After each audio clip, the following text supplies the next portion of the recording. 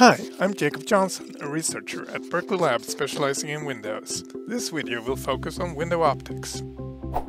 Controlling visible light transmittance, solar heat gain and thermal insulation of a window is key for making it energy efficient. These properties are coupled, and to understand that coupling it is helpful to look at the optical properties of window materials. Light interacts with matter according to three main pathways, transmittance, reflectance and absorptance. Transmittance is a material property defined as the fraction between the amount of transmitted light and incident light. This is a unitless number between 0 and 1, but is sometimes expressed as a percentage. Reflectance and absorptance are material properties defined the same way.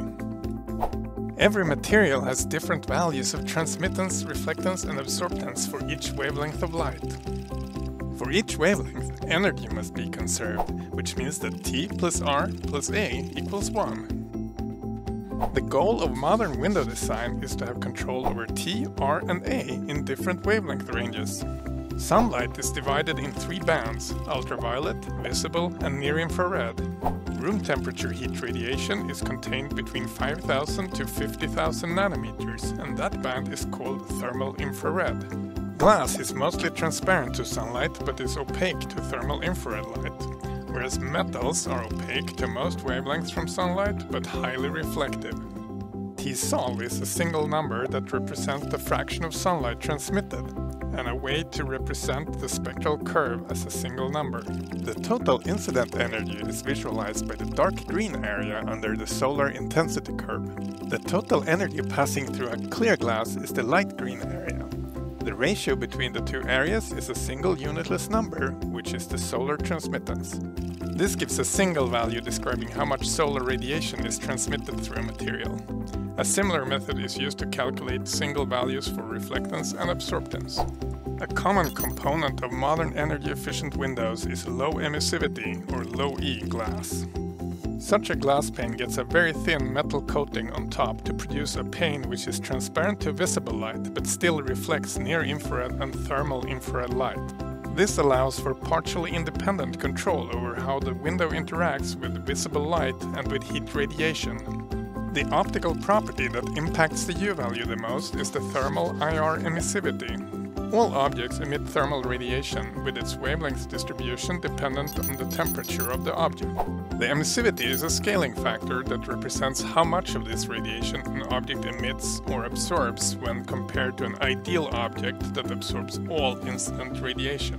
A low emissivity means that less heat is lost or gained through radiation from that surface.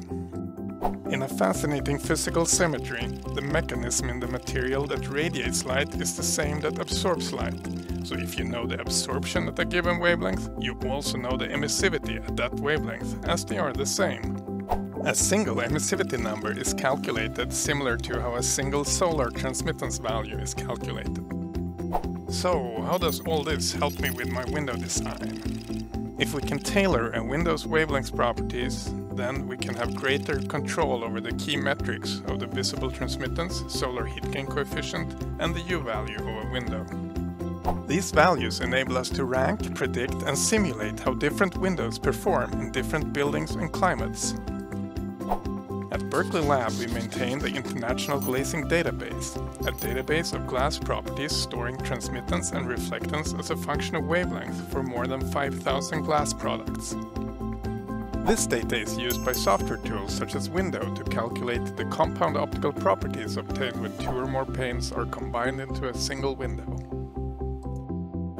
Check out our latest research at our website. If you have ideas, we would love to hear from you. You can also find the US Department of Energy's R&D goals for Windows at their website. We hope this overview has been helpful. To learn more, visit Berkeley Lab online or view the next video.